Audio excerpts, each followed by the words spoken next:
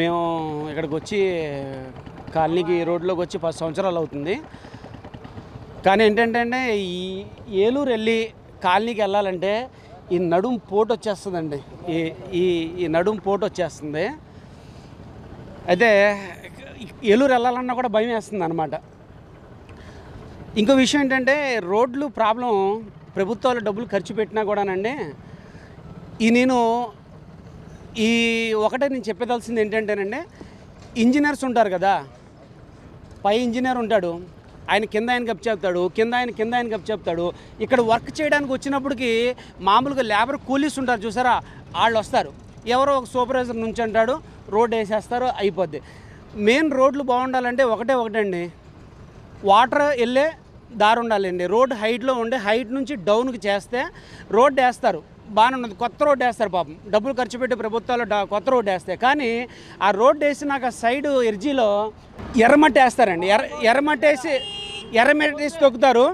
అప్పుడు ఈ రోడ్డు మీద ఉన్న నీళ్ళు ఆ కాలువలోకి వెళ్ళవండి.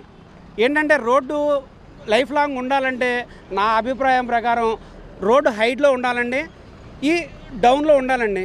ఉంటేనే తప్ప ఈ కాలువలోకి నీళ్ళు వెళ్ళిపోతే ఎక్కడైతే నీళ్ళు ఆగవో అక్కడ రోడ్ డ్యామేజ్ అవ్వదండి. ఎందుకంటే ప్రాబ్లం వచ్చి ప్రభుత్వాలది కాదు ప్రజలది కాదు.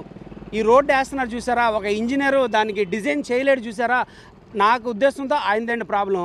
రోడ్డు వేస్తారు కొత్త రోడ్డు లక్షల రూపాయలు ఖర్చు పెడతారు. పైనేమో సైడ్ ఏమో ఎర్రమట్టి వేసి అటు ఇటు ఎర్రమట్టి తొక్కుతారు. తొక్కితే అది రోడ్డు కంటే హైట్లో ఉంటుంది అది వెళ్తావు దాని మీద ఏమో ఆ పచ్చగడ్డి మొలుస్తుంది. ఆ నీళ్ళు వెళ్ళవు. ఆ నీళ్ళు వెళ్ళకపోతే ఏమవుతుందండి? ఆ రోడ్డు మీద ఆగి కొంచెం కొంచెం కొంచెంగా గొయ్యి పెద్దదైపోద్ది. కొత్త రోడ్డు వేస్తారు. వేసినాక దానికి ట్రయల్కి అని చెప్పేసి చిన్న బెజ్జం వేస్తారండి. ఎందుకంటే ఈ విషయం రాజకీయ నాయకులకు కూడా తెలియాలండి. వాళ్ళకి తెలీదు. చిన్న బెజ్జం వేస్తారండి. ఆ చిన్న బెజ్జం వేసి ఆ రోడ్డుకి నాలుగు బెజ్జాలు వేస్తారు. చిన్న బెజ్జాలు టెస్టింగ్ అంటారు. ఆ టెస్టింగ్కి కొత్త రోడ్లో తోవి మట్టి తీసుకున్నప్పుడు ఆ గ్రావెల్ దాంట్లో మళ్ళీ ఫిల్ చేయాలి కదండి? ఫిల్ చేయరు. అక్కడ నుంచి మళ్ళీ రోడ్డు డ్యామేజ్ అక్కడ నుంచి మళ్ళీ మొదలైపోద్దండి. వాటర్ ఆగడం వల్ల రోడ్లు డ్యామేజ్ అవుతున్నాయి. మెయిన్ ప్రాబ్లం అండి. రోడ్డు మీద నుంచి వాటర్ వెళ్ళిపోతే సార్ రోడ్లు ఏమీ పాడవండి. కైకలూరు భీమవరం వెళ్ళే రోడ్డు అండి ఇది. ఆ రోడ్లో ఆర్టీసీ స్కూల్ బస్సులు గుద్దుకోవడం ఒకరికొకరు పిల్లరాళ్ళు నానా ఇబ్బందులు పడిపోవడం. ఆర్టీసీలో నలభై మంది యాభై మంది ప్రయాణం చేస్తారు. వాళ్ళ ప్రాణాలు గాల్లో కలిసిపోవాలా? మీరెప్పుడు మీ సౌపాయం మీ రాజకీయ కోసం చూసుకుంటారు కానీ ఈ రోడ్లు ఏమైపోతున్నాయో వీళ్ళ గురించి అసలు ఎవరు పట్టించుకోవట్లా? ప్రభుత్వం అసలు పట్టించుకోవట్లా? మరి రాజకీయ నాయకులు ఉన్నారని అసలే పట్టించుకోలేదు అసలు. వాళ్ళు కూడా ఈ రోడ్డు వేస్తున్నారు. మరి ఏమనుకుంటున్నారు ఈ రోడ్ల గురించి? ఈ ప్రజలు చచ్చిపోయినా పర్లేదు మాకు మాత్రం రాజకీయం కావాలి. మేము మాత్రం రాజకీయ నాయకులు పైకి రావాలి. మాకు పేర్లు ఉన్నారు అంతేగాని ప్రజల గురించి పట్టించుకోవట్లా మరి ఇంతంత రాజకీయాలు చేసే రాజకీయ నాయకులు ఈ రోడ్లు కనపట్లేదా?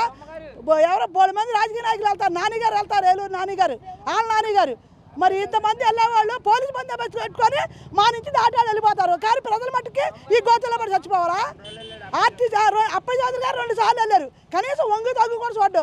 ఎందుకు ఇంతమంది రాజకీయ నాయకులు వెళ్ళి కనీసం రోడ్డు బాగుంటేనే కదా రోడ్డు మీద ఎక్కారు వాళ్ళు ఇన్ని వేల మంది రోడ్డు మీద వెళ్తున్నారు. కనీసం ఒక్కరు కూడా ప్రభుత్వానికి తెలియకపోతే ఇంకెందుకండి? రాజకీయ నాయకులు ఉండి రేపు ఓట్లు అప్పుడు వస్తారా? మాకు ఓట్లు వేయండి.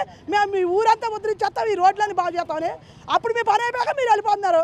ప్రజలు మటు బాధలు పాలైపోవాలి. ఒక ఆర్టీసీ బస్సు జరబడితే అంతమంది నాలుగు యాభై మంది ప్రయాణం చేస్తారు. వాళ్ళందరూ చావాల్సిందేనా రోడ్డు గుద్దుకొని వెళ్తుంది బస్సు కోతల నుంచి పడి ఇరవై మంది పడిపోతున్నారండి ఇక్కడ. ఇది రోడ్ల పరిస్థితి ఇది. ఏలూరులో ఇది పరిస్థితి తూర్పు ఇది. మాదేవేలు రోడ్డు ప్రేమాలయం దగ్గర పరిస్థితి ఇది. ఎంతమంది చెప్తారండి? తెల్లారు లేస్తే మేము లేపాల్సి వస్తుంది. మెలుగుగుండి